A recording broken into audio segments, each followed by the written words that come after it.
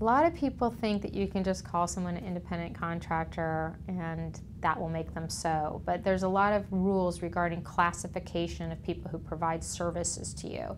So you can hire an employee and that person is going to be getting a W 2. You're going to be withholding taxes from the paycheck that you give them and they are going to be governed by labor and employment laws, both state and federal, because they're now an employee.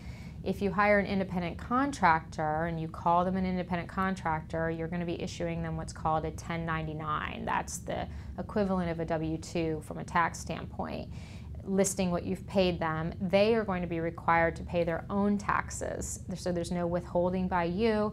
They're supposed to have their own insurance and run their own operation. Now, what happens a lot is an employer doesn't want to have to pay what are called FICA taxes, which are Medicaid, uh, Social Security taxes, things like that, unemployment taxes. So they prefer to hire someone as an independent contractor.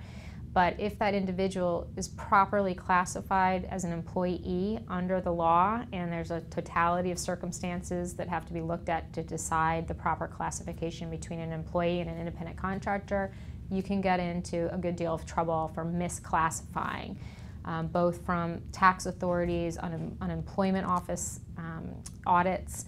So you definitely want to get the opinion of an attorney um, or an HR expert before you try to make a designation for someone that's going to be working for you a significant amount of time.